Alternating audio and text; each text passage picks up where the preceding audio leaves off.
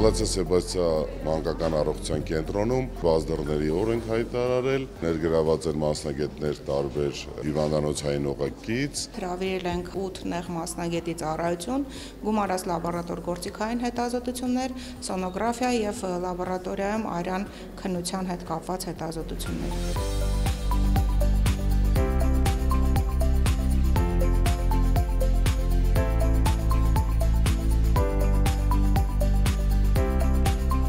լինում են դեպքեր, երբ պացիենտները արդեն մեր մոտ են գալիս, արդեն ծայրահեղ վիճակում, երբ որ արդեն կոնսերվատիվ բուժումները անկարող են ինչ որ օգուտ բերել եւ արդեն հասնում է վիրատության։ Ժամանակին պրոֆիլակտիկ այցելությունները առաջնային օղակին շատ կարևոր են ախտորոշելու, իսկ որոշակի բարդությունների դեպքում նաև հիվանդանոցներ ուղղորդելու համար։ Մեր պոլիկլինիկայում մասնագետները շատ լավն են, բայց ունենք այն մասնագետները, որ չկան։ Այսօր օրթոպեդ, ռևմատոլոգ շատ մեծ մեծ խորհուրդներ տվեցին։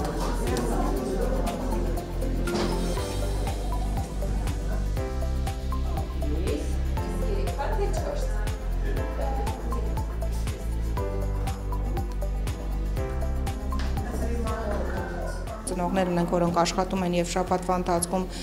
պարզապես պոլիկլինիկա հաճախելը իրենց համար ժամային առումով դժվար է։ Դրա համար ընտրվել է շաբաթ օր եւ հրավիրվել է այն մասնագետներին, որոնք ստացիոնարներում մեր խորհրդատվական ուղեգրերով հենց հետազոտում են։ Մեզ համար շատ կարևոր է հաջող սերնդի առողջությունը եւ տեսնելով մանուկների քանակը փորձելու ենք սա անել շարունակական։